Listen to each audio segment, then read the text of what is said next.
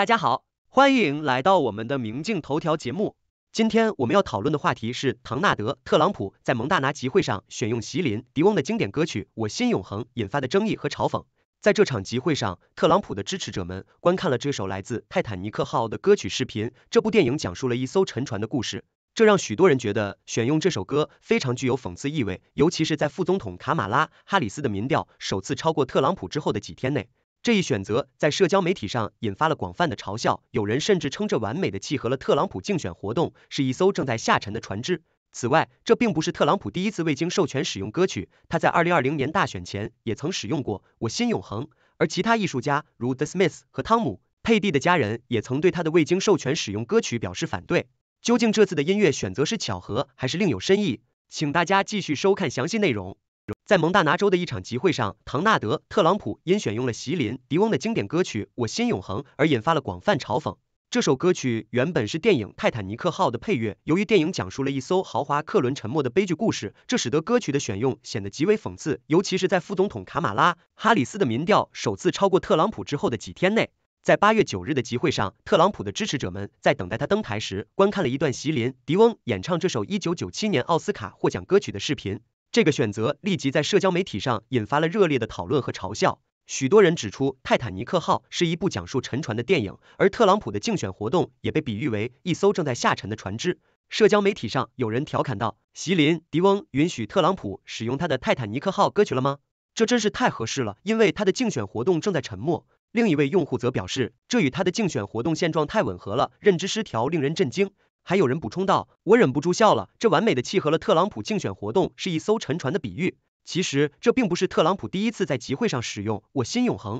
他在2020年11月大选前也曾使用过这首歌。特朗普的竞选活动之前也曾多次未经过授权使用其他艺术家的歌曲，引发了诸多争议。2024年1月，The Smiths 乐队的吉他手强尼·马尔公开表示对特朗普在集会上播放乐队1984年的歌曲 Please Please Please Let Me Get What I Want 感到震惊。二零二零年七月，已故摇滚歌手汤姆·佩蒂的家人也对特朗普在塔尔萨集会上使用他的歌曲《I Won't Back Down》表示强烈反对，称特朗普未经过授权使用这首歌。佩蒂的家人在一份声明中指出，特朗普的竞选活动让太多美国人和常识被抛在脑后。他们进一步表示，汤姆·佩蒂和他的家人坚决反对任何形式的种族主义和歧视。汤姆·佩蒂绝不会希望他的歌曲被用于一场充满仇恨的竞选活动。他喜欢将人们团结在一起。不仅如此，特朗普的竞选活动还在2020年8月因使用尼尔·杨的两首歌曲而被提起版权侵权诉讼。尼尔·杨称这是场无知和仇恨的竞选活动，并采取法律行动以保护自己的版权。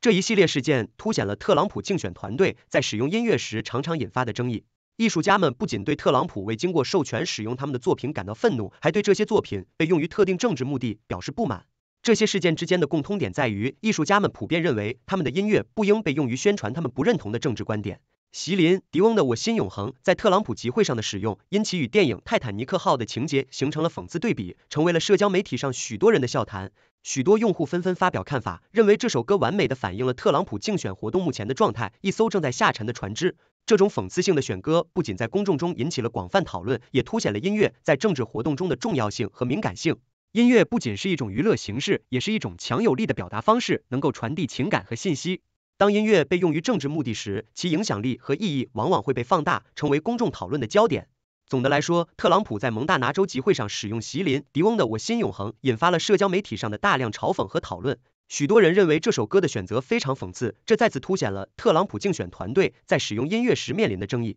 艺术家们对未授权使用他们作品的行为表示强烈不满，并采取法律手段维护自己的版权和艺术完整性。音乐在政治活动中的使用需要更为谨慎和尊重，以避免引发不必要的争议和法律问题。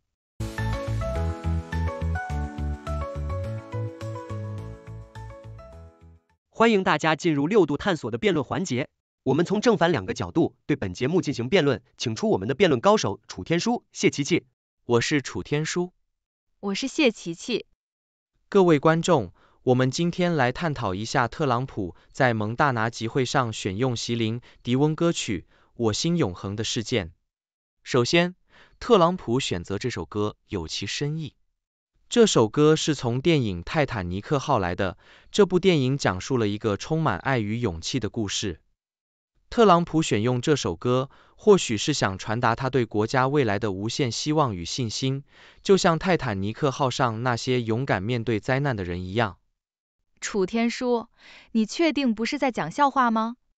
泰坦尼克号可是关于一艘沉船的电影。特朗普选用这首歌，简直像是在自嘲，尤其是在他的竞选活动陷入困境的时候。这就好比在自己的葬礼上播放派对动物，太讽刺了吧？特朗普这么选，简直是给反对派送上了一记完美的嘲讽素材。谢琪琪，你说的没错，这部电影确实讲述了一艘沉船，但不要忘了，泰坦尼克号也是关于爱情、勇气和希望的故事。特朗普选用这首歌，也许就是在传递这些正面的价值观。此外，总统竞选活动本来就需要吸引眼球，让人们记住。选用这首歌，正是让人们在笑声中记住了他的集会，这也算是一种成功的宣传手段。楚天舒，你这样说，我差点以为特朗普在搞脱口秀呢。不过说真的，特朗普选用这首歌，无论是有意还是无意，都让人感觉他的竞选活动像是一场滑稽剧。再者，他不只是用过这首歌，之前还未经授权使用过很多其他歌曲，这样的举动本身就引发了不少争议。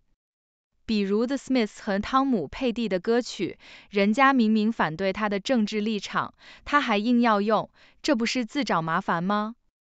谢琪琪，虽然特朗普未经授权使用歌曲确实引起了一些争议，但这也显示出他无畏挑战的个性。他不拘一格，敢于打破常规，这正是他的支持者所欣赏的一点。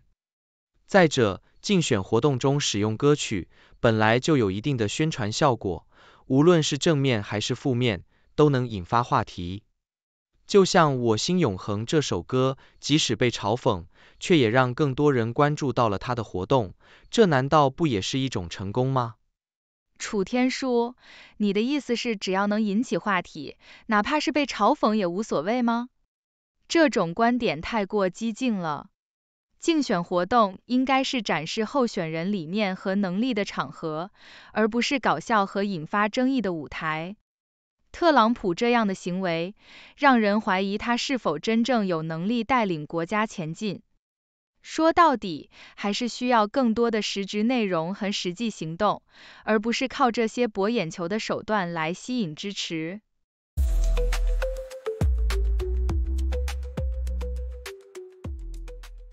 思想先驱报，成为有洞察力的人。华尔街电视特别节目，纽约时间每天早上八点。李奇博士主持和平评点，谢谢大家收看六度探索。这是一个由科学家、经济学家、媒体人、工程技术人员合作建立的新型媒体。网友与六度 AI 参与合作完成各种内容，这些内容不能作为任何决策或法律的意见。这是一个新型的试验性媒体方式，我们希望得到大家的支持，修正错误。网友可以参与讨论，也可以向万能的六博士提出你能想出的任何问题。六度世界网址是六 do world，请介绍给你的亲朋好友。